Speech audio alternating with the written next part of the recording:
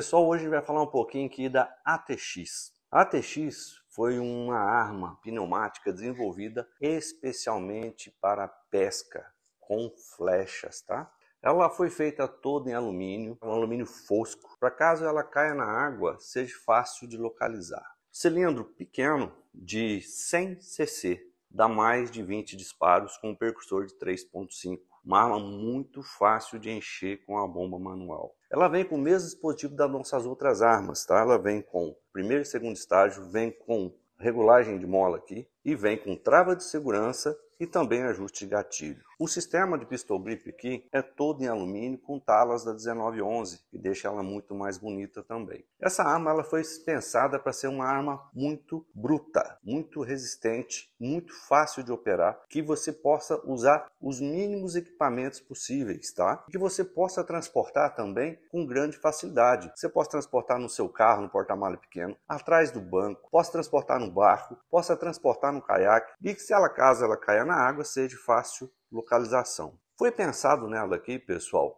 para tirar especialmente flechas de pesca. Lembrando que as flechas de pesca são flechas maciças e nós pensamos em toda a legislação, tanto a legislação do Exército quanto a legislação de pesca ambiental, é permitida a pesca. Lembrando que não tem problema nenhum, você não vai ter dor de cabeça porque nós respeitamos até o calibre 6mm, então você não vai ter dor de cabeça porque as flechas foram feitas para ser 6mm.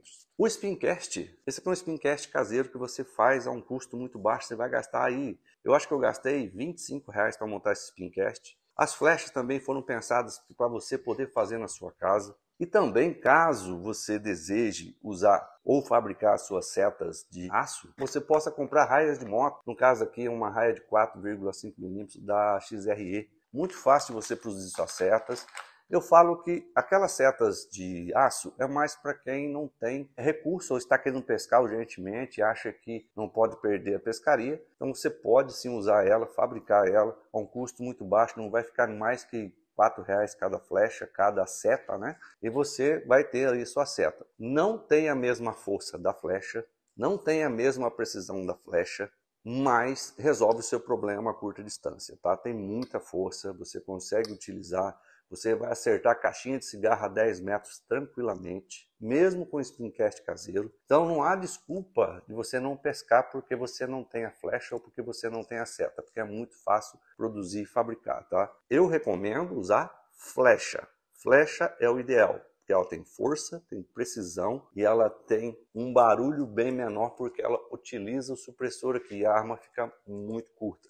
Vocês podem ver que eu coloquei um red dot muito simples aqui, um laser também aqui muito simples. Então ela se torna um custo-benefício muito bom para você utilizar na pesca. E você também pode utilizar cilindros maiores. Caso você deseje um cilindro maior, você pode colocar um cilindro maior, é só trocar esse cilindro. Caso você também deseje colocar um percursor de 6 milímetros, você vai ter praticamente dobrar a força da arma. Você vai ter uma força extremamente alta que você pode praticar até o controle, por exemplo, de javalis tá? sem problema algum. Outra vantagem dessa arma, por ela ser fácil de transportar e pequena, cabe dentro da sua barraca. Também serve aí para um caso de um ataque de javali, vamos dizer assim, você ter uma opção você se defender, ou até mesmo intruso, né? Muito fácil de você colocar e muito fácil de transportar. Foi feita uma arma muito robusta, muito simples de operar, muito precisa e que vai resolver seu problema tanto para pesca quanto também para um abate controlado. Tranquilamente, em 25 metros, já fizemos teste aqui, é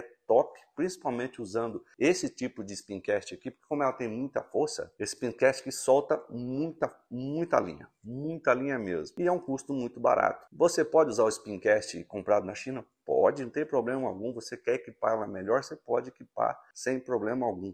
Outro detalhe também, se você quiser utilizar canos de chumbinhos, até o 635 você consegue utilizar nessa arma. Desde o cano de 10 polegadas, 12 polegadas, 18 polegadas, 24 polegadas e até o cano de 27 polegadas do calibre 4,5, 5,5, 6 milímetros e também o 6,35 caso você deseje um cano extra aí não vai ter problema algum, tá? Lembrando que quanto maior o cano, mais precisão você vai ter, mais força você vai ter, e você vai ter que colocar um sobrecano aqui maior também, caso você deseje. Se não quiser, coloca só o cano e coloca um supressor lá na ponta, lá um, um abafador na ponta e vai resolver tranquilamente o seu problema. É uma arma que veio para suprir uma demanda nossa especialmente para pesca. Todas nossas armas servem para pesca. Elite, Tiger, Caçadora, todas elas utilizam um kit pesca. Mas essa foi pensada exclusivamente para quem quer uma arma extremamente compacta, extremamente precisa, extremamente forte, que possa